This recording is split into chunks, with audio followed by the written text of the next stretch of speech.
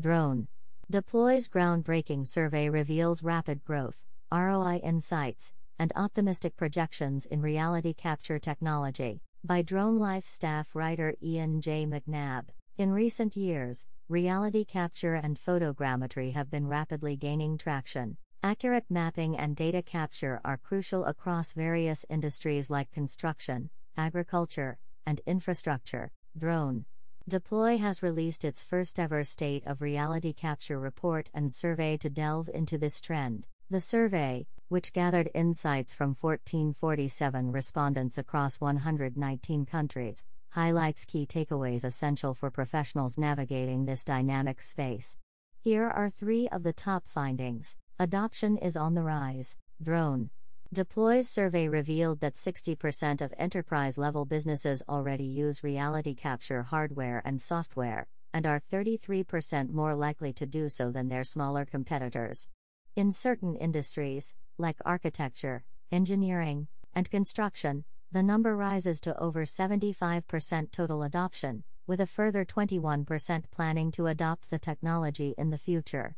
For businesses with over 10,000 employees, reality capture has become even more popular, with around 80% of companies having already adopted some form of photogrammetry technology, showing the importance of high quality scanning to large organizations.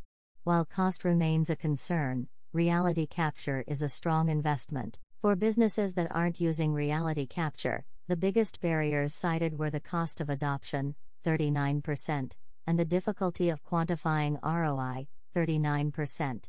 However, the survey also revealed that 96% of companies that have adopted reality capture technology are seeing ROI, whether that's from cost savings or more efficient operations.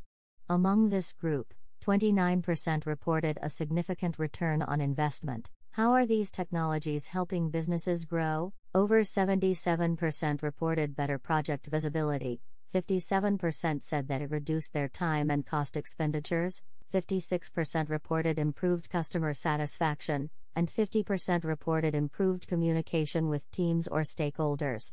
Almost half of enterprise customers reported cost savings between $10,000 and $100,000. Businesses are bullish on the future. 62% of the businesses surveyed plan on increasing their expenditure on reality capture over the next year. Where is this money going? 31% say that they plan on increasing their use of robotics for reality capture, followed by 16% who plan on utilizing docked drones, which have fallen in price precipitously over the last couple of years.